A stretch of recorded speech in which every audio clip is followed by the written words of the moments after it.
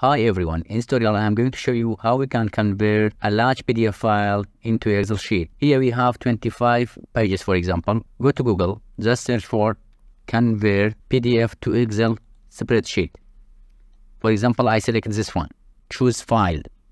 From here, click this one, all file, bring your PDF file. For example, I select this one which is 25 pages. Select it, open.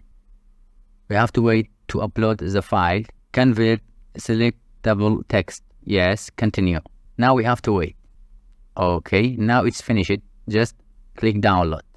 From here we download our excel file or spreadsheet and the name you see that's the name of the pdf and xlsx means the spreadsheet.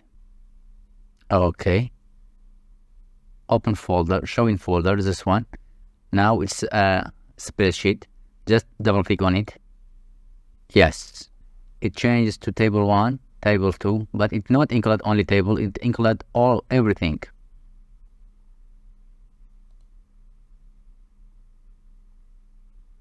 You see?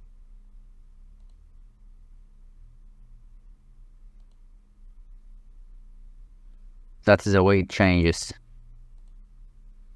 It brings tables also you can arrange it. Don't forget to like the video and subscribe our channel. Have a nice time.